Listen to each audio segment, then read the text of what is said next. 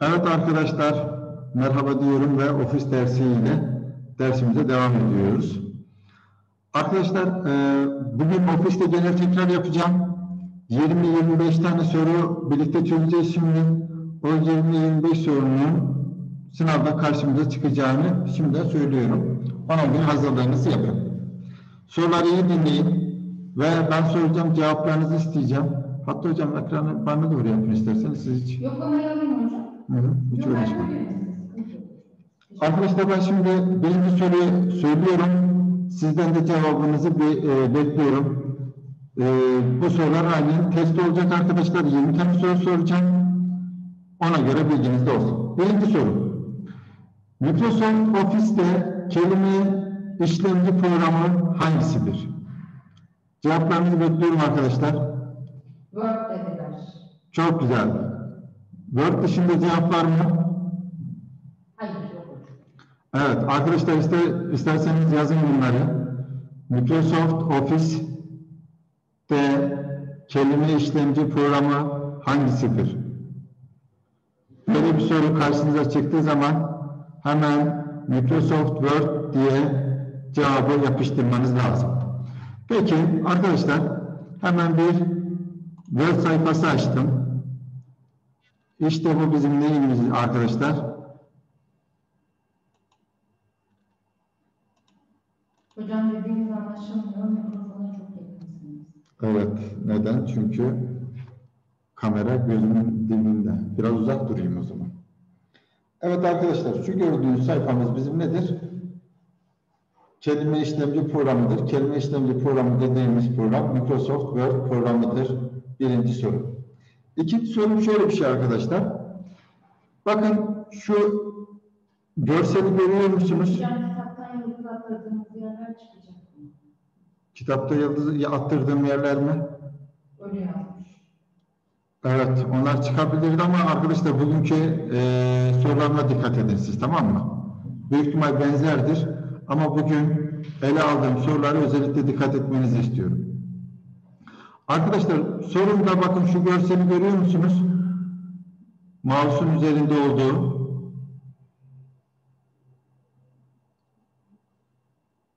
Bu görseli vereceğim.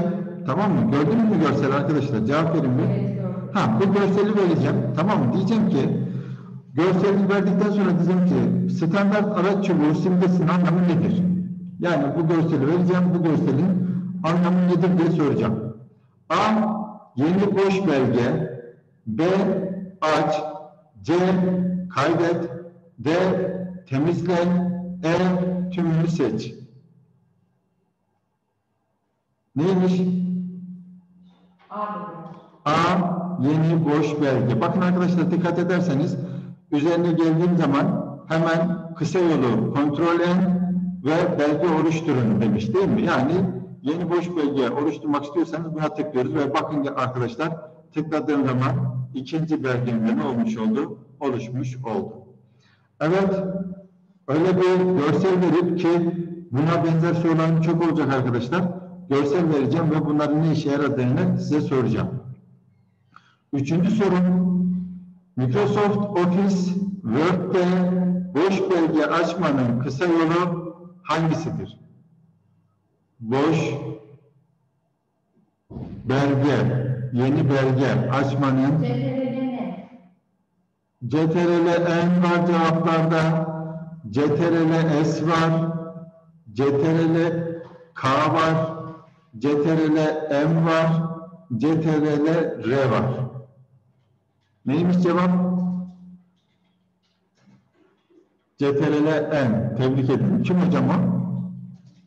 E, Batuhan Çok güzel. Tebrik ediyorum gençler. İyi gidiyorsunuz. Üçüncü sorumdu bu.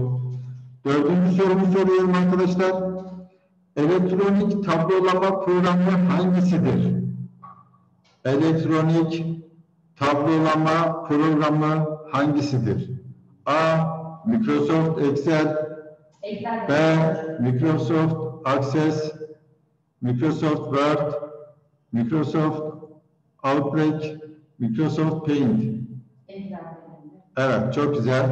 Arkadaşlar o da Şimdi bakın şurada bir Microsoft Excel sayfası açtım. İşte bu sayfamız aynı zamanda nedir? Elektronik tablolama programları dediğim zaman hemen Excel diye cevabını vermeniz gerekiyor. Çok güzel. Beşinci soruda mıyız? Beşinci soru arkadaşlar dikkat edin. Soruyorum. Word'de hazırladığınız belgeyi kaydetme işlemi hangi yoldan yaparız? Evet, Microsoft Office Word'de hazırladığımız belgeyi kaydetme işlemini hangi yoldan yaparız? A. Düzen artı kaydet. O kısa yolu ama e, cevaplarda kısa yol yoksa dikkat dinleyin arkadaşlar beni. Evet beni dinleyin. Aşağıdaki A, B, C şıklarına göre cevap verin.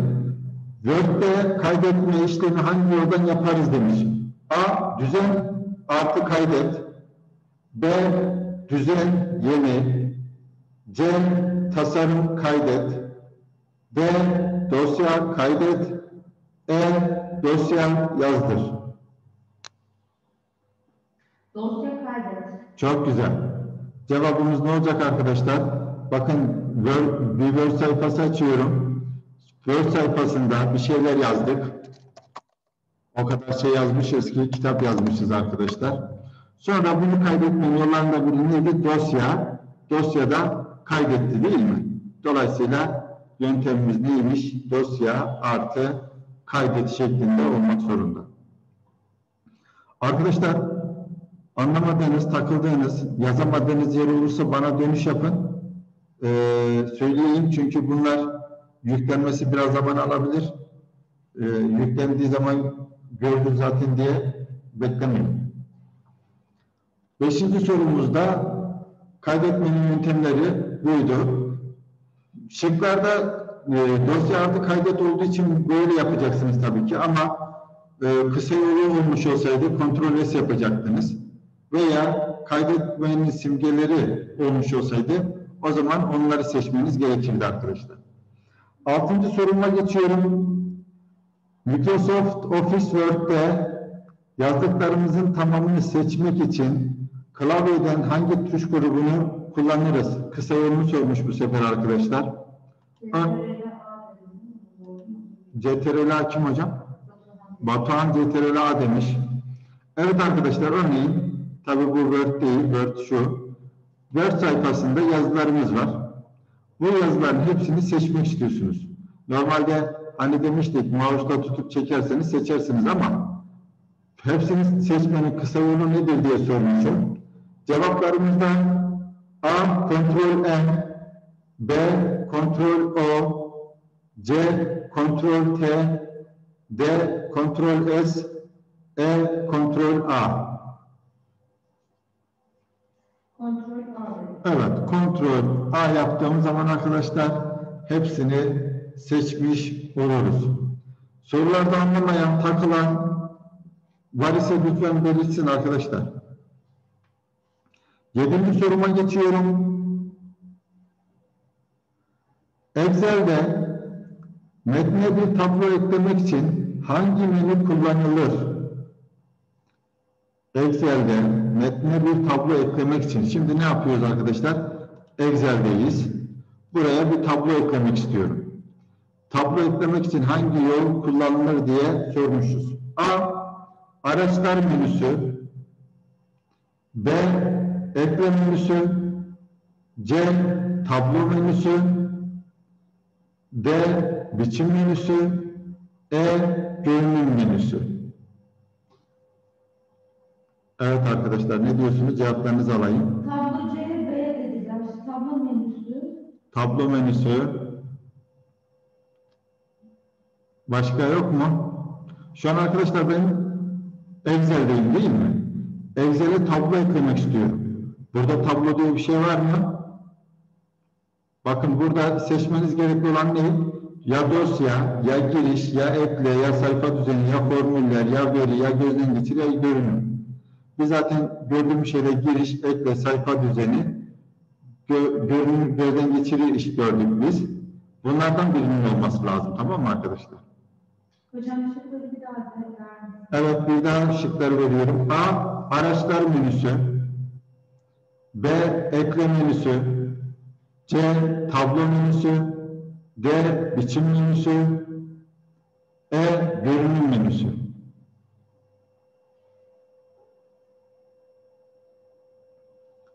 Eklemeyin. Çok güzel. Bakın arkadaşlar ekleye bastığım zaman Bir daha dedi. Bir daha söylüyorum, soruyu da söylüyorum. Arkadaşlar şimdi bu bizim bir Excel dosyamız değil mi? Bu Excel dosyama tablo eklemek istiyorum. De- Demiş ki Excel'de metne bir tablo eklemek için hangi menü kullanılır? Excel'de metne bir tablo eklemek için hangi menü kullanılır? O zaman şu şunlardan birisi birinde olması lazım tabloların. Cevaplarımız A. Araçlar menüsü. B. Ekle menüsü. C. Tablo menüsü. D. Biçim menüsü. E. Görünüm menüsü.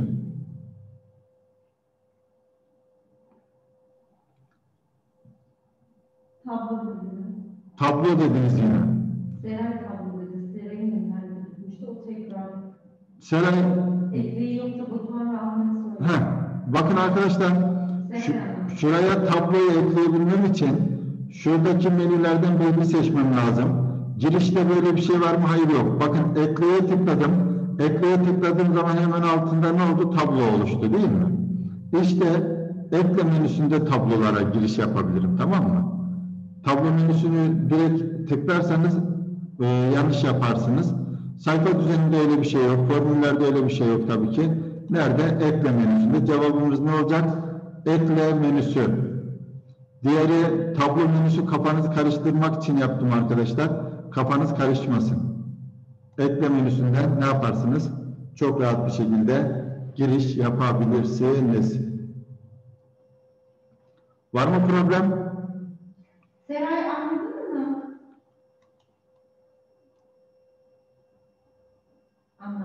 Peki, çok güzel. Bakın tekrar ediyorum arkadaşlar, yeni girenler var ise bu sorulara dikkat edin. 20 soru soracağım. Şıklı olacak. Şıklar kafanızı karıştırmasın. Soruyu ve cevabı direkt bilirseniz tık yapıştırıp geçersiniz arkadaşlar. Sekizinci sorum. Kelime işlemci programını genel olarak hangi amaç için kullanırsınız? Kelime işlemci programını genel olarak hangi amaç için kullanırsınız? Kelime işlemci programı dediğimiz ne arkadaşlar? Kelime işlemci programı dediğimiz neydi? Birinci sorumdu. Word. Word. Yani ne demek istiyorum? Word'ü hangi amaç için kullanırsınız? A. Şiir ya da bir şey yazmak. Çok güzel. E, sö- Şıklara dikkat edin. A. Kelime işlemci elektronik bir tablo programıdır. Kelime işlemci elektronik bir tablo programıdır. B. Kelime işlemcide resim çizimi yapılır. Kelime işlemcide resim çizimi yapılır. C. Kelime işlemcide yazışmaların tümü gerçekleştirilebilir. C. Kelime işlemcide yazışmaların tümü gerçekleştirilebilir. D. Kelime işlemci bir gösteri editörüdür. Kelime işlemci bir gösteri editörüdür. E. Kelime işlemci bir iletişim aracıdır. Ne dersiniz?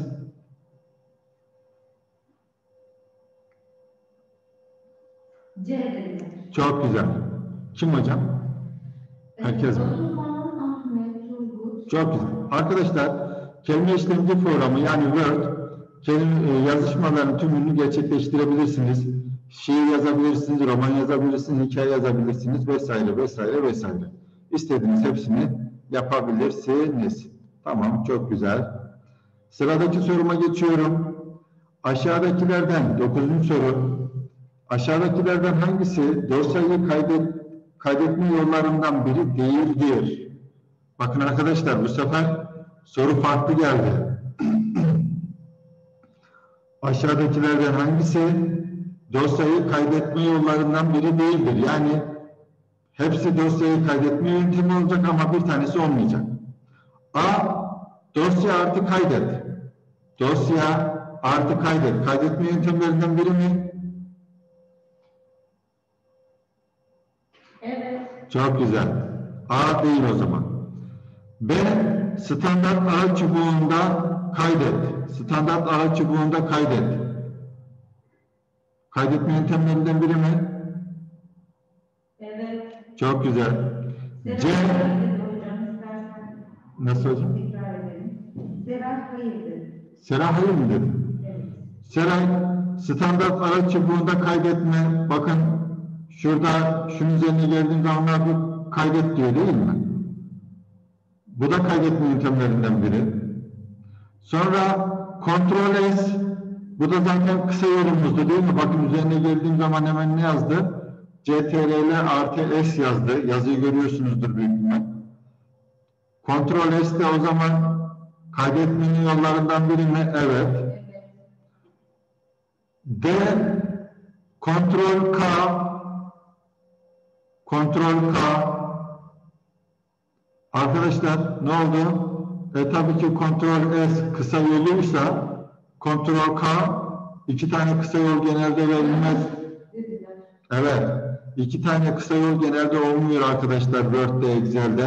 Dolayısıyla kontrol K böyle bir şey yok. O zaman olamaz. Bir de görsel veriyorum arkadaşlar. Bakın şu görseli vereceğim. Şu görsel? Efendim hocam. Açma. Ne hocam? Hiperlink açma ne demek? CTRL kahvemiş. CTRL K değil. Hayır arkadaşlar. Yok öyle bir şey. Kontrol kontrol S kaydetmenin kısa yolu. Bir dakika. Bir şey söyledin ama ben anlamadım Ahmet.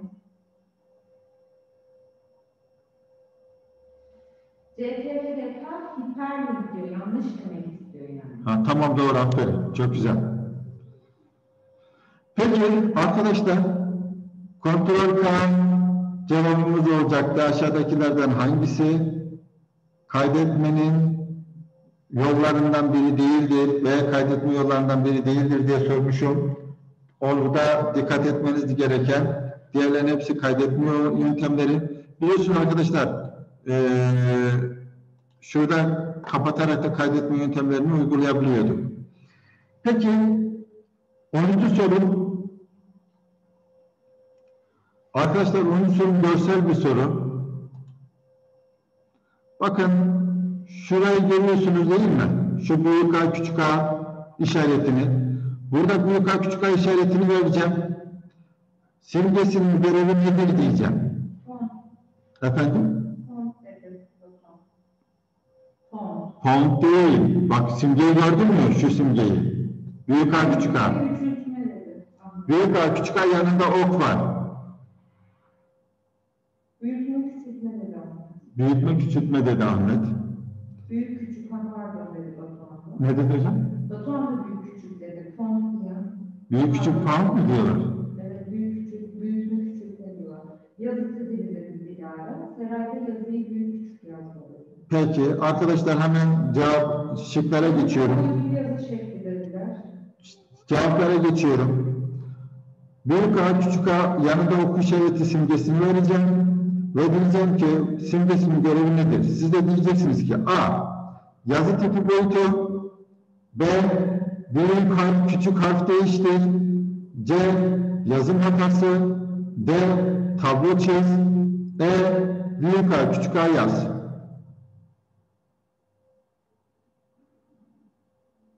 A. Yazı tip Sondaki, Efendim hocam? sondaki dedi hocam. Sondaki büyük A küçük A yaz. Bir daha söylüyorum. A yazı tipi boyutu. Punto dediğiniz şey yazı tipi boyutu demek punto demek. B büyük harf küçük harf değiştir.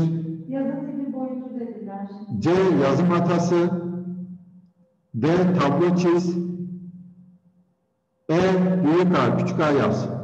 B dediler. Arkadaşlar bakın üzerine geliyorum. Bakın üzerine geldim büyük A küçük A. Ne yazıyorum? Görebiliyor musunuz? Seçili metni büyük harf, küçük harf veya sık kullanılan diğer büyük küçük harf üzerine dönüştürür. Ha, yani üstü direkt okuyun. Üstte büyük küçük harf değiştir yazıyor değil mi arkadaşlar? Bakın. Üstte ne yazıyor? Geldim büyük küçük harf değiştir. O zaman büyük harf küçük harf değiştir olacaktır. Tamam mı arkadaşlar? Cevabımız. Böyle bir simge verirsem ne işe yarıyor diye sorarsam görevi nedir diye sorarsam büyük harf küçük harf değiştir diyebilmeniz lazım. Bakın arkadaşlar unutmayın. Şu simgeleri ya çizin ya gözünüzün önüne getirin. Bu böyle bir simge vereceğim. Bu simge ne işe yarıyor diye soracağım. Aldınız mı? Doğru. Evet. B şıkkı büyük harf küçük harf değiştir. Arkadaşlar yazı tipi boyutu değil bu. Yazı tipi boyutu yani puntosu şudur bakın. Şuradan yazı tipi boyutunu, yazı şeklini de şuradan kabrilli var ya. Yazı şeklini şuradan yazı boyutunu ise şuradan eğer şunu verip bu ne işe yarıyor demiş olsaydım cevabım buydu. Tamam mı? Fakat büyük harf küçük harf yanında ok işareti verdim. O zaman bu nedir? Büyük küçük harf değiştir olacaktı. Peki 11. soruma geçiyorum. Hocam geçmiyorum. Geçmeyelim mi? Şöyle bir tekrar edelim. Diğer ders geçelim. Peki. Şöyle bir, ikiden ufak ufak şöyle tekrar Peki edelim. arkadaşlar, şey Hemen yeni gelenler için hocamın dediği gibi yapıyorum. Birinci sorum neydi? Microsoft Office kelime işlemci programı hangisidir dedim. Word dedik. Değil mi? İkincisi şurada boş bir belge vereceğim. Bu belge ne işe yarar diyeceğim. Yeni boş belge olacaktı cevabı. Üç, boş belgenin oluşturmanın kısa yolu nedir diyecektim. Hemen CTRL artı N diyecektiniz. Tüh, kötü yere yazmışım. Şuraya yazayım. CTRL artı N diyeceksiniz. Hocam Ahmet toplam kaç soru çıkacak dedi. Toplamda 20 tane soru soracağım arkadaşlar. Bakın gördünüz mü? Yazıyı ne yaptım? Kontrolünü büyüttüm. Kontrol en, en büyük olacak tabii ama önemli değil. Siz görevi bir şey çözdükten sonra problem yok. Peki ne yaptık arkadaşlar? Kontrol en dedik. Ee, bir sonraki sorum elektronik tablolama programı hangisidir? Elektronik tablolama programı içinde ne dedik? Excel demiştik arkadaşlar. Dördüncü sorumun cevabı Excel o zaman olacak arkadaşlar. Beşinci sorum Office Word'de hazırladığınız belgeyi kaydetme işlemi hangi yoldan yaparız diye sormuşum. Farklı farklı yollar vermişim ama asıl kaydetme yöntemimiz nedir? Dosya artı kaydet. Yani dosya ve kaydet cevap şıkkım olacaktır. Altıncı sorum yazdıklarımızın tamamını seçmenin kısa yolu nedir diye sordum. Yazdıklarımızı tamamını seçmenin kısa yolu CTRL artı A dedik. Bu A'yı büyük yazmam lazım tabii ki. Bakın yapıyorum arkadaşlar. Kontrol A yaptım. Yazılarımın hepsi ne oldu? Seçildi değil mi? Peki bir sonraki sorum Excel'de tablo eklemek için hangi menü kullanılır dedim. Excel'de tablo eklemek için hangi menü kullanılır? Burada da hemen tabi Excel'e gelmem lazım. Excel'de ekle menüsü demiştik. Ekle cevabımız olacaktı. Tablo menüsü yapmayın arkadaşlar. Aslında o da yanlış değil ama e, hangi menüden gireceğimizi sorduğu için de arkadaşlar ekle menüsü diyebilmemiz lazım. Bir sonraki sorum, sekizinci sorum hangi amaç için kullanılır? Ama ne? Kelime işlemci programı. Kelime işlemci programı hangi amaç için kullanılır? Yazışmaların tümü için gerçekleştirilir cevabımız arkadaşlar. Her türlü yazışma gerçekleşir. Roman, hikaye, kitap vesaire vesaire. Dokuzuncu sorumda aşağıdakilerden hangisi kaydetme yollarından biri değildir demişim. Şıkların Hepsi kaydetme yolları ama bir tanesi değil o da kontrol K. Kontrol K kaydetme yöntemi değildir. Kontrol S kaydetme kısa yoludur. Dokuzun cevabı da buydu. Onuncu sorumda arkadaşlar şuradaki büyük A küçük A'yı gösterdim, verdim ve bu büyük A küçük A ne işe yarar diye sordum. Size bunu şöyle de göstereyim. Peki. Hemen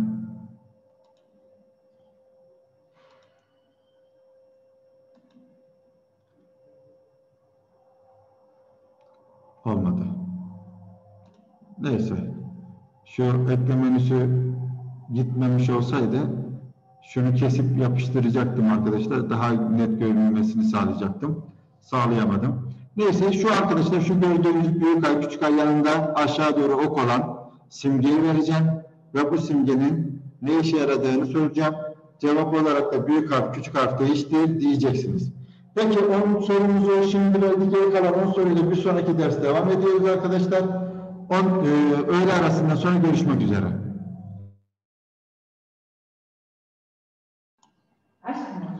Evet merhaba arkadaşlar. Kaldığımız yerden devam ediyoruz ama ilk önce şunu bir yapıştır yapayım yaptım tamam. Bir de kaydettiğim kaydettim tamam. Evet arkadaşlar 11. soruda kalmıştım. 11. soruda devam ediyorum.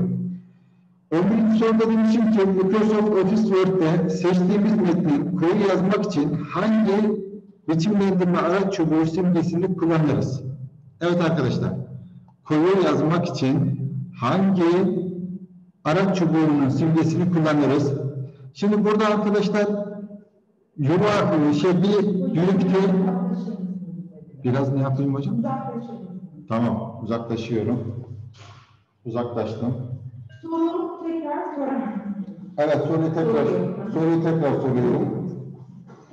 Uzaklaştıkça uzaklaştım. Evet. Word'de seçtiğimiz metni koyu yazmak için aşağıdaki hangi araç çubuğunu kullanırız diye bir soru arkadaşlar. Yazıyı koyu yazmak için. Şimdi şıklarda büyük T var. Büyük A var altı çizili. Sonra kontrol artı K var. Sadece K var. Ve bir de E şıkkında kab, kabrili,